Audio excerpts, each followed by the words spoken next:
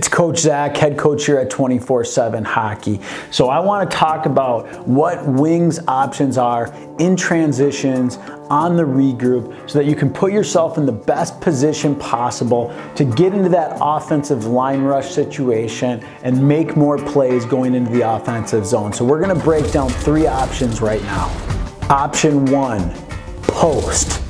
So in this option, as a wing, as you're coming back into the play, you're gonna post up here and be that first option for the defenseman. Same thing with this wing. If you're gonna post, you're coming back here and posting up so that they go D to D, that you're an option right here. Now, part of the key here, when you post, is you hustle back. If you come back full speed, you're gonna be able to come back a little bit lower, be an easy option, and you're gonna be able to make either a tight turn here or stop, get your stick open, and be able to see the play. What happens is players get lazy and you start coasting back here, and when you get that puck, you're skating this way. Now, what do you got? You don't have options, and then you start skating it back into the zone and making bad plays. All right, if you hustle back, you can stop or do a quick tight turn here, get your feet up ice. So now when you get that puck, you're gonna be able to see the ice better and you can see what's going on. So if this defenseman pinches on you, you can bounce that puck and skate around or your forward can pick it up and you're already moving this way. You can actually skate it because your feet are going up ice. You can get the puck, you can take two or three hard strides and you can gain the zone here. So move back, hustle. If you're gonna post, hustle back. Even if you're on the weak side, hustle back so that you can post up and you can get your feet going in the right direction with either stopping and getting your stick here, giving them a good target, or a really quick tight turn and then delay, delay, delay till you get that puck. Don't start taking off here so the defenseman has to fire the puck up your butt. All right, if you do a quick turn, you got to hold off and delay, hold that passing lane, find that passing lane, give the D a good target with your stick. All right, so that's how you post properly to be able to make more plays.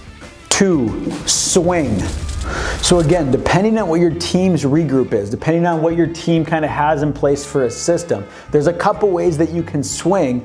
But again, if your team incorporates the swing, I want to help you how you can do it most effectively, right? So one great way that you can swing is that Typically, you're going to be doing this in a D2D situation, all right?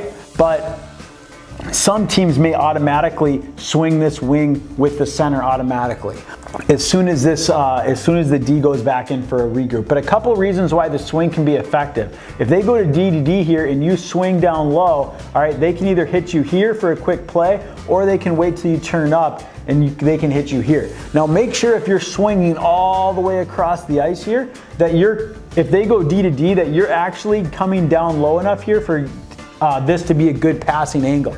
You want to create a good passing angle for that defenseman. So don't swing here and then start going up ice and wondering why you're not getting the puck. All right, you have to create that good passing angle for that defenseman so they have a good target to hit. Another great way to swing. If they go D to D again and you're posted up here, you can swing with that center. Again, this has to be pre-planned, but you can swing with that center. So now again, they've got a better passing angle to hit you at, all right? So you can swing here, you can come straight across here and be a passing angle right there. But the key is, again, to make sure that you're delaying and this D has their head up and they're actually looking so that you don't get ahead of the play all right, and you're way past, and at that point they have no passing lane. You have to be able to time it so that you're in a good passing lane, and that may be you have to hustle and you have to anticipate and go quick, or it also may be that you have to delay. And that's the difference between a dumb hockey player and a smart hockey player, is a smart hockey player is gonna know how to work hard and how to hustle, but also how to time it and delay and go at the right time so that this defenseman has the best passing angle possible and you're able to find that gap.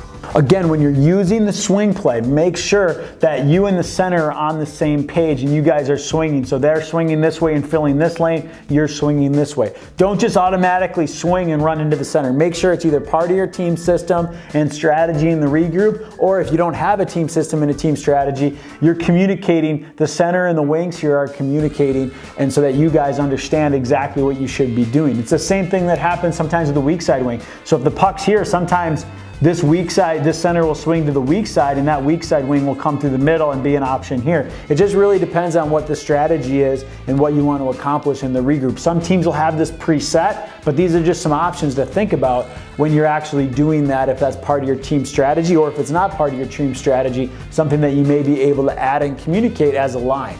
Three is stretch. Now I love this option and it's an option that if you use it properly, it can be very effective, right? So stretch plays happen a couple of different ways. One, if you go D to D here, this winger can leave early. So instead of standing here for this cross ice pass, which a lot of times isn't gonna happen, you can take off up and then turn along that blue line and so you can be an option here.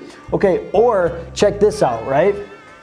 What happens is if he moves it to this wing, here, all right, and this wing ends up skating and gets pressure and bounces it off, if that center doesn't come through and pick it up, you can come through and pick it up. Or if the center comes through and picks it up, now you can cut up here. And a lot of times you can get behind this defenseman here, okay, and get that rush and you can get a two on one or even a breakaway.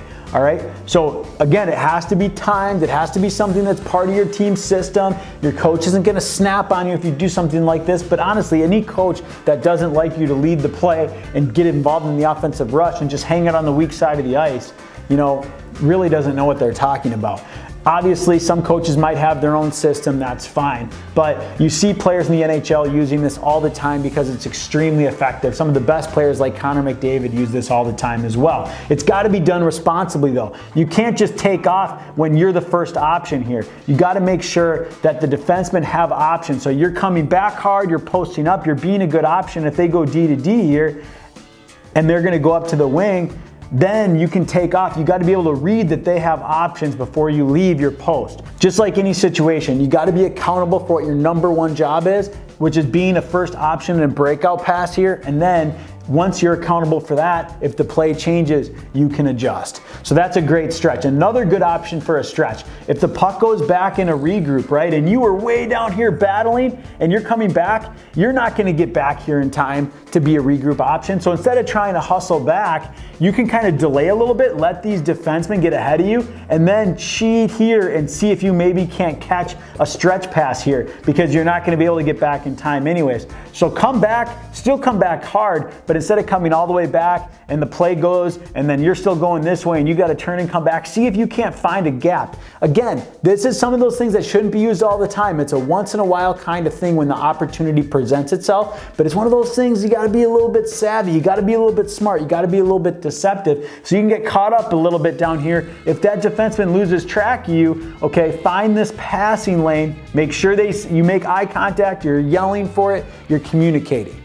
All right, so those are three great options when it comes to wingers, regrouping, and what your options are to get involved in the play. If you want a checklist, okay, so I put together even more options for you, what you should be reading, what you should be looking at, what your goals are on the regroup for wings. I've included that in the description of this video, so you can go to the description of the video or the first comment below, and I've got a free checklist for you that you can access and download that's gonna give you step by step what you should be looking for as a wing when it comes to those regroups, even more than we were able to cover in this video.